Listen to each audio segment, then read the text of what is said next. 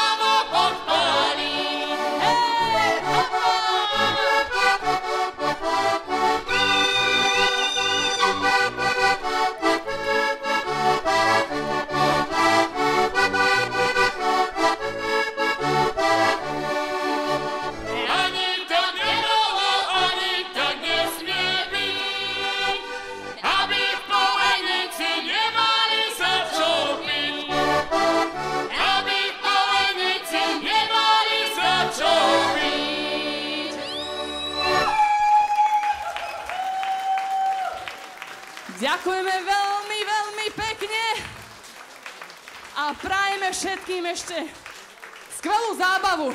Ďakujeme krásne.